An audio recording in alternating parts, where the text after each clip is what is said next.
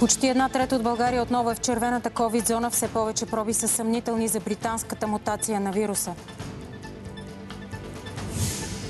Екип на БНТ влезе в дома на бизнесмена, от чиято камина бяха откраднати близо 1 милион лева. Хиляди арестувани след обявената ефективна присъда за Навални. Кремъл защити действията на полицията. Светът остро осъди ситуацията в Русия.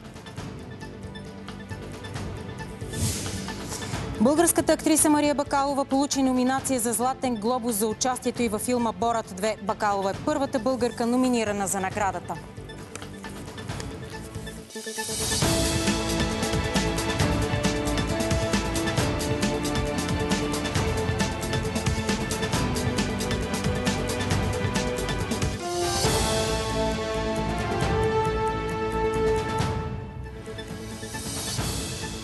Здравейте, вие сте с новините в 18. Политически словесни сблъсъци след разследването на ОЛАФ на обществената поръчка за доставка на автомобили за полицията. В парламента ГЕРБ излезе с декларация и поиска президентът Радев да оттегли кандидатурата си за втори мандат.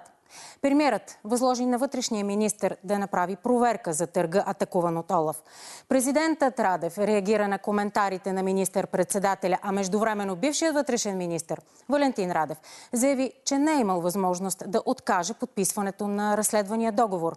Пред посвета и у нас генералният директор на Олаф Виле Итала определи случая като класическа измама. Докладът от разследването на ОЛАФ е изпратен на Европейската комисия. В него е описано нарушението, което е допуснато. Според условията за финансиране, Българското вътрешно министерство е трябвало да закупи високопроходими автомобили, но е купило други.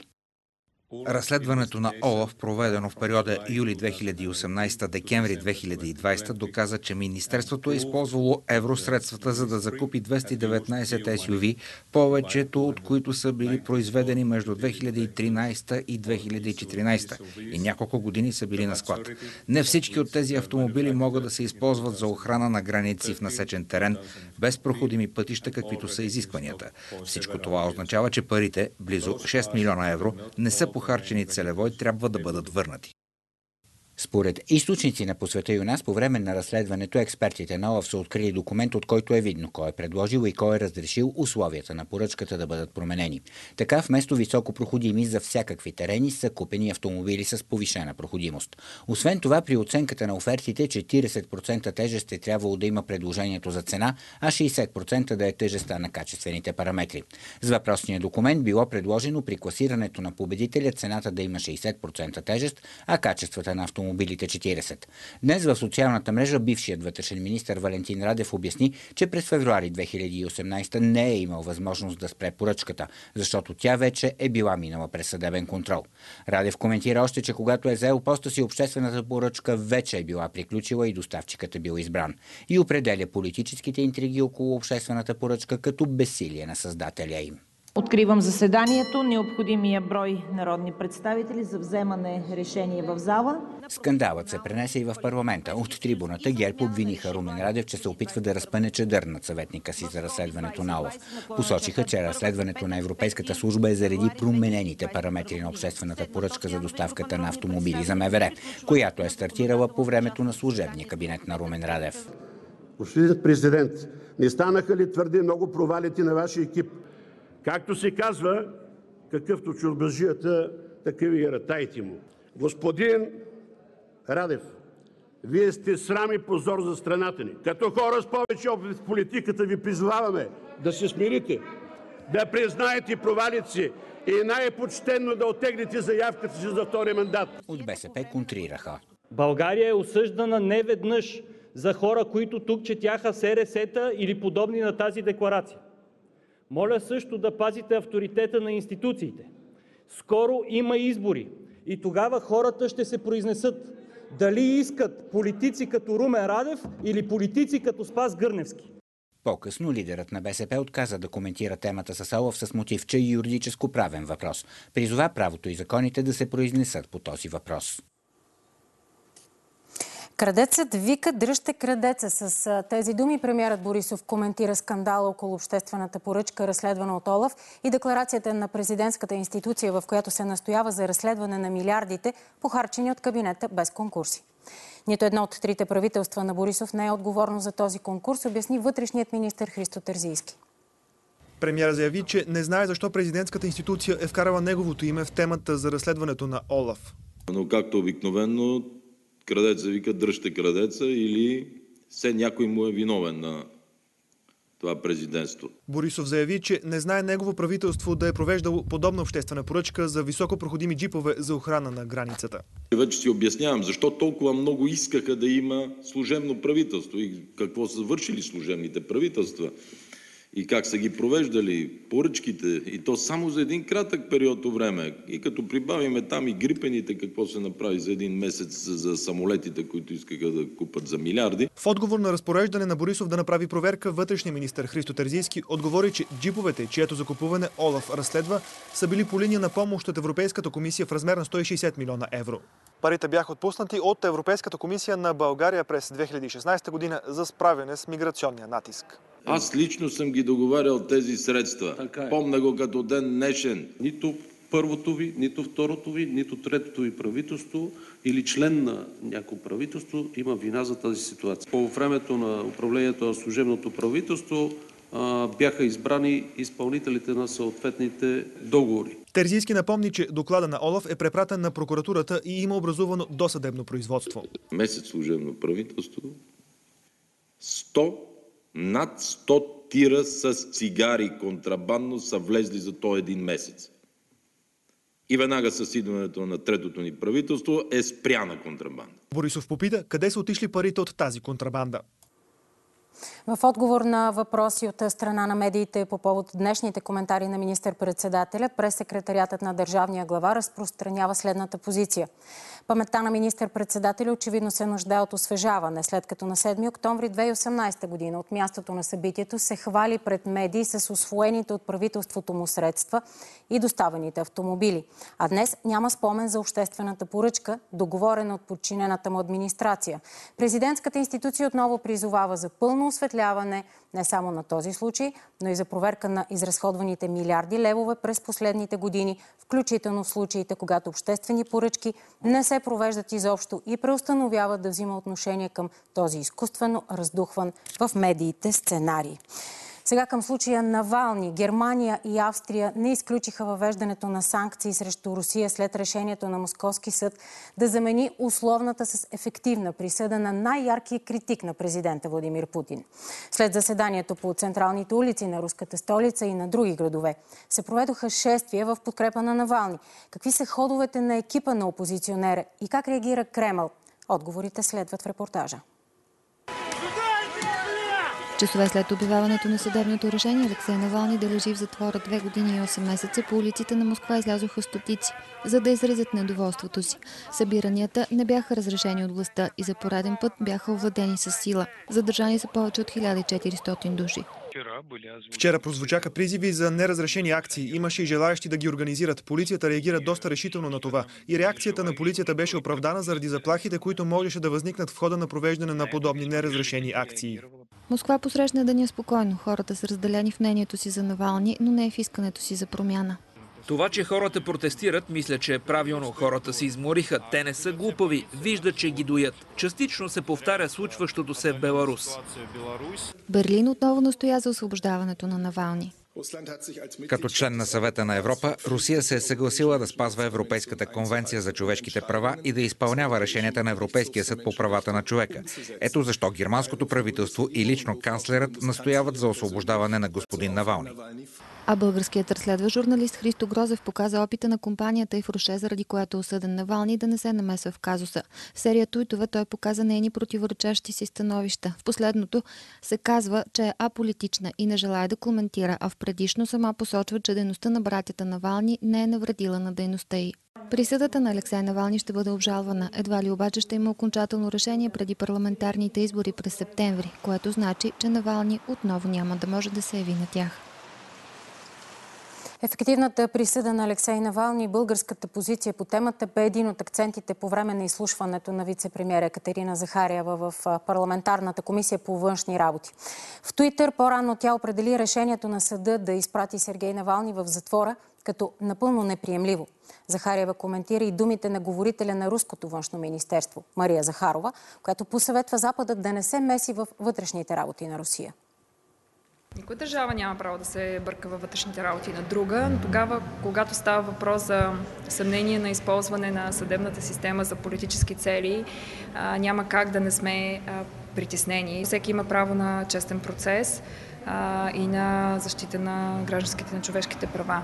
Всеки има право на мирен протест. Самата Руска федерация е ратифицирала поредица от конвенции, включително е член на съвета на Европа и има и решение на Европейския съд по правата на човека, който е на съвета на Европа, по този казус, по казуса с Алексей Навални.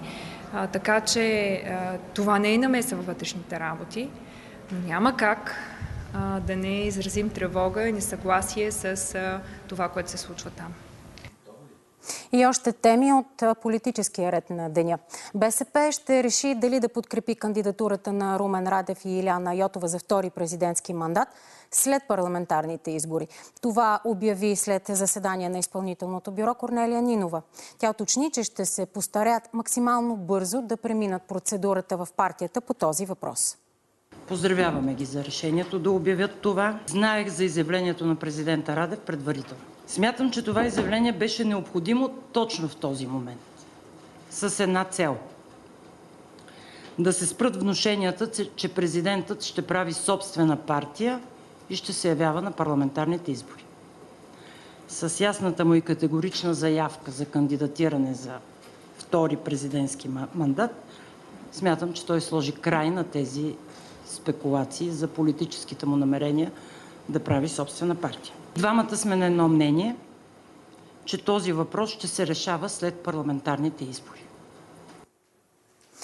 Отчита се постепенен бавен ръст на новите случаи на заразени с коронавирус в България. 967 са новите случаи на заразени за последното денонощие. Направени са 11 452 теста. Покачва се и процентът на заразените. 8,4 на 100 от изследваните за вируса са се оказали положителни. През последното денонощие са вакцинирани 3283. Така общият брой на поставените дози от началото на вакцинацията става 45 917. Пет области обаче отново са в червената COVID-зона. Само за седмица заразените в Пазарджик, Сливен, Бургас, Хасково и София отново са се увеличили до над 120 на 100 хиляди души. В столицата се забелязва и плавен ръст на приятите в болница. Увеличават се и положителните проби, съмнителни за британския вариант на коронавируса, който, както казват учените, е и по-заразен. Въпреки това, здравният министр Костадин Ангелов заяви, че на този етап затягане на мерките не се предвижда. В две столични болници между 30 и 50% от вчерашните положителни проби били съмнителни за британския вариант на COVID-19. Това, което е притеснителното е по-лесното предаване на този щам и тогава вече а, кривите на заболеемостта могат да променят своя ход, да се забърза покачването, така да го наречем. България може да изследва до 5% от положителните проби дневно за новите мутации на вируса, твърди здравният министр. Това изследване отнема време и то не зависи от а, бързината на изследването. За две седмици у нас са доказани 33 заразени с британския вариант на COVID. В последната седмица в София се забелязва и ръст на приятите в болница с коронавирус. Имаме, разбира се, увеличение с няколко пациента за тези три 4 дни последните. Епидемиологичната обстановка и в Европа, и у нас предполага покачване значимо, което го очакваме след около две седмици, три. Здравният министр обясни, че следи денонощно ситуацията в София. Тогава, когато преценим, че съществува някаква ясна тенденция, която да изисква мерки, бъдете сигурни, че вие ще бъдете първите, които ще го разберете. От Пирогов, където са настанени повечето заразени с британския вариант на коронавируса, обясниха, че за момента не се забелязали осложнения сред инфектираните. Скандал на летището по сигнал на зрител след полет от Лондон до София. Властите у нас не признават тестовете на две българки, направени на острова. Така жените трябва да останат под 10-дневна карантина, поне докато не си направят нов тест у нас. Причината е, че никъде в бланките, които носят от Великобритания, не пишело, че тестът е PCR. Цялата история и какъв е отговорът на здравните власти гледайте в емисията ни в 20 часа. И още по темата за ваксините. Ваксината на Оксфорд, AstraZeneca, значително намалява разпространението на COVID-19. Това сочат резултатите от още непубликувано официално проучване на университета, разработил препарата. Здравният министр на Великобритания Мат Ханкок посочи, че това доказва ваксините като начин за справяне с пандемията. Проучването за първи път показва ефективност на вакцина срещу предаването на патогена. Така всеки вакциниран индиректно предпазва и другите хора. Според проучването, вакцината на AstraZeneca дава 76% ефективна защита от една доза в продължение на 3 месеца, което оправдава паузата между първата и втората доза между 4 и 12 седмици. След втората доза ефективността на препарата нараства до 82 на 100.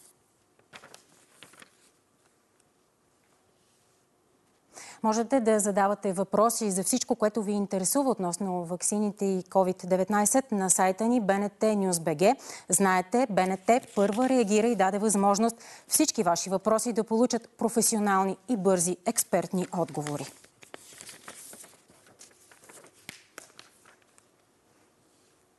Бизнесменът, от чиято камина бяха откраднати близо 1 милион лева – за първи път допусна телевизионен екип в дома си. Милен Иванов не пожела да застане пред камера, но разказа подробности за кражбата. Нашата колежка Деси Петкова влезе в дома му и сега е на пряката ни линия с подробностите. Деси, здравей към теб! Добър вечер. Ние се намираме пред блока, където е извършена кражбата през октомври миналата година, но е разкрита тази година. Апартаментът на бизнесмена се намира на първият етаж и според него крадецът е влязъл случайно в този апартамент, защото той не го познава, не познава и първоначално задържаните още 6 човека. Казва обаче, че тя е направена много професионално, тъй като въобще той и семейството му не са разбрали, че някой е влизал в дома му. Единствената следа е били разхвърлените дрехи от раницата на сина му и че вратата била отключена. Крадецът не е успял да открадне още парични суми, които са скрити на различни места според Милен Иванов в дома му. Дори на масата в хола, където се намира въпросната камина, е имал златни накити, които задържаният не е успял да вземе. Както знаете, 44 годишен мъж от Бургас е задържан за кражбата. Към момента той отказва да съдейства на разследването нищо и не казва нищо. Според Милени Иванов, парите, които е успял да отмъкне крадецът от дома му са близо 900 хиляди лева, но до момента полицейските органи са открили едва 56 хиляди лева от тях. Все още не е ясно къде са останалите пари. Но повече за срещата ни с пострадали е в следващия репортаж. Милен Иванов ни посреща в дома си. Разказва, че според него кръците са намерили парите в камината случайно. Влезли в апартамента му с подправен ключ. Взели парфюми, злато. Намерили портмоне, в което бизнесменът имал 7 милиона виетнамски донги и 450 бразилски реала, останали от екскурзии. Взели ги и захвърлили портмонето. Крадецът първо отваря този шкаф, взима от него парфюми, след което забелязва процепа в камината. Камината е правена преди 10 години. Там няма специален тайник, а парите са били в отвор, част от декорацията на камината. Където е тук вече е страната. Крадецът видял парите, взел раницата на синът на бизнесмена, натъпкал ги вътре и излязъл. В жилището имало и още пари, които крадецът не намерил.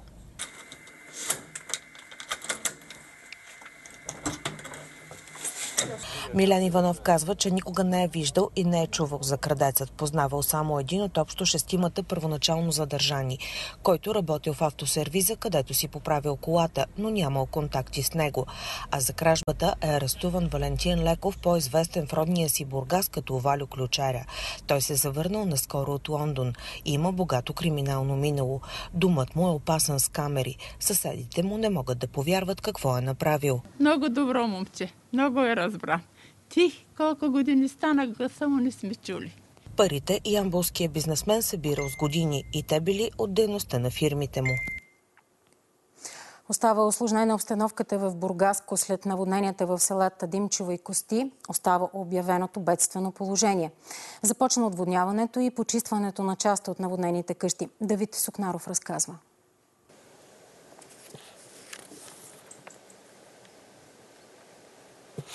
Здравейте! Продължава да е в сила обявеното бедствено положение тук в село Димчево край Бургас, което повече от 20 дни е под вода. Тя си изтича изключително бавно, затова се е наложило да бъдат взети спешни мерки. Късно нощи екипи на общината, на напоителни системи и с помощта на местни жители са пробили дигата на река Факийска, откъдето да започне да се изтича водата. Виждате, мярката вече е дала резултат.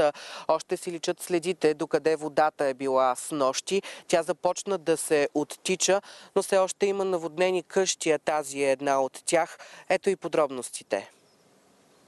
През пробива на дигата на река Факийска големи количества вода вече се оттеглят от землището на засегнатото село Димчево. Като гледам, поне близо 5-6 метра е смъкнала водата, нали, вече не влиза в селото, като с нощи до късно влизаше, продължаваше да влиза. Сега вече се от, от мощото надолу всичко беше залято, което се вижда и в момента, че водата се оттича. Все още обаче има залети къщи и тази нощ собствениците им е трябвало да останат евакуирани. Някои отишли при родниния, други били приютени в стопанството на Димитринка Маринова. Някои хора потърсиха помощ пред нас и животни, че се, се опитаха да докарат. Така е, ние сме хора и трябва да се помагаме. Хората отиват при близки, приятели, роднини, при второ жилище в града. Някои се заминаха, защото са... Водата няма спиране. Това е. Тя върви като порой срещу нас. Няма как да я спрем. Почти цялата земеделска земя на Димитринка, унищожена заради наводненията, вече четири помпи изпомпват водата от селото. Местните очакват да се намери варианти за още. Днес екипи на община Бургас обходиха засегнатите къщи и описват щетите. Хората ще могат да получат финансово обещетение от фонда на общината за кризисни ситуации. Започна разчистването на наводнените домове и в село Кости, където също е обявено бедствено положение. Водите на река Велека вече се отдръпнаха, но остава водата в къщите. Тази нощ, нощ малко по-спокойно, но пак няма спокойствие, защото ние сме винаги в такова едно напрежение и днеска трябва да се поизчисти, виждате тук вода и кал. И в село Кости се очаква хората да получат финансова помощ за нанесените щети от наводнението, а бедственото положение се очаква да бъде отменено най-рано утре. Тежка верижна катастрофа на автомагистрала Струма стана малко след 8 часа тази сутрин в района на Сандански при отбивката за село Ново Делчево. Сблъскаха се пет автомобила и два микробуса, а причината несъобразена скорост и гъста мъгла. Пострадаха четирима души, като двама от тях останаха в здравни заведения без опасност за живота. Движението вече е възстановено и в двете посоки. Време е за спорт. Нора Шопова вече в студиото. Здравей, Нора. За съжаление, новините от тениса не са точно тези, които очаквахме и се надявахме. Сега ще говорим за тях. Добър вечер. Григор Димитров с първа победа за годината. За нея след малко. Началото е за поредния сблъсък между Цветана Пиронкова и Серина Уилямс. Първата ни ракета при дамите отстъпи в осмина финалите на турнира Яра Валия Класик с 0 на 2 сета. Първата част се превърна Първата част се превърна в същински тенис рецитал на рекордьорката по титли от големия шлем. Мощният начален удар и изящните отигравания от бекхенд на Уилямс не оставиха особено много възможности за реакция на Пиронкова. Пробив в първия гейм подсказа в каква посока ще се развива сетът, чието край дойде при 6-1 в полза на американката. В предишния кръг Цветана също загуби откриващата част с този резултат, но сега обратът беше далеч по-трудно осъществим. Вторият сет все пак предложи по-равностоен развой, като единственият брейк беше реализиран в самия край на матча. При 5 на 4 в полза на Уилямс с първата ни ракета отрази три матч бола преди да отстъпи на петата в схемата. Така след матч, в който не стигна до нито една точка за пробив, Цвети Пиронкова продължава да чака първия си успех над Уилямс и вече е с 6 поражения от 6 срещи помежду им. Григор Димитров преодоля първото си препятствие на турнира Мари Ривър Оупън. Българинът спечели с 2 на 0 сета срещу представителя на домакините Андрю Харис и гледа уверено към осмина финалите в Мелбърн. Първият матч за 2021 година за Димитров очаквано не криеше коварни капани за българина. Намиращият се едва на 232 позиция в световната ранглиста Харис се съпротивляваше достойно до средата на първия сет, когато двамата размениха по един пробив. След това Григор пое юздите на срещата, поведе с 6-3, след това водеше и през целия втори сет, приключил също при 6-3. За 68 минути на корта се откроиха добрият процент на първи начален удар на българина 80, както и нежеланият брой непредизвикани неточности на тенисиста ни, сред тях и 6 двойни грешки. Точно както и в предишни години, Димитров се радваше на колоритна българска подкрепа от трибуните. По програма първата ни ракета трябваше да играе утре около 10 сутринта наше време срещу Алексей Попирин, но всички мачове в Мелбърн парк за четвъртък са отменени. Причината е положителна проба за коронавирус на служител от един от трите хотела, посрещнали тенисистите в последните дни. Краен бранител почти сигурно ще подсили Левски до края на седмицата. Крило от Нидерландия пък ще изкара проби в клуба до началото на шампионата, а решението за бъдещето и на Луин Ганьони още не е взето. Това стана ясно след прибирането на сините от лагер в Харватия. Тимът воден от Славиша Стоянович изигра пет контроли в Харватия, в които записа три победи и две поражения. На българска земя наставникът на Лески не пожела да даде повече подробности за очакваните двама нови, но обяви целите пред отбора през пролетния дял от шампионат. Искам да играем по-директен и атакуващ футбол. Ако може поне за купата да стигнем до край. Незавидно е деветото място, на което сме в момента в шампионата. Надявам се двете момчета, които ще дойдат, да покажат качества, за да играят в Левски. Ако ли не, ще ми е интересно да видя как ще изглеждаме в настоящия състав и как ще реагират играчите в сериозните матчове. А дали ще се разделим с някого, зависи от това дали ще дойдат нови момчета. За сега всички от този състав остават. Играчите получиха два дни почивка. В неделя ще изиграят последната си контрола. Тя ще е срещу спортист Своги на стадион Георгия Спаруков в столицата. Още спорт очаквайте в централната ни емисия малко преди 21 часа. А преди да се разделим една новина от Холивуд, актрисата Мария Бакалова е номинирана за наградите Златен глобус 2021 в категорията Най-добра актриса в мюзикъл или комедия за филма Борат 2 на Саша Барен Коен. В категорията на Мария Бакалова са номинирани още 4 актриси, сред които Мишел Пфайфър и Кейт Хъдзън. Още с премиерата на филма, американската критика бе единодушна, че Бакалова е забележителна актриса и нейната поява се превърна в събитие. Церемонията ще се състои на 28 февруари. Още за тази и други теми може да чуете на сайта ни в секцията Чуй новините днес. Знаете, от началото на февруари БНТ пусна уникална за българското онлайн пространство технология на база изкуствен интелект, с която потребителите слушат новините от деня. Вече можете да ги слушате, докато ползвате телефона си или сте в движение. Всички новини се зареждат автоматично в плейлист. В следващите седмици предстои да се добави и възможност за персонализиране на листите за слушане и опция да си избират новините по категории и рубрики и според личните предпочитания и интереси. Така се разделяме. Следва предаването още от деня с Надя Обретенова. Довиждане.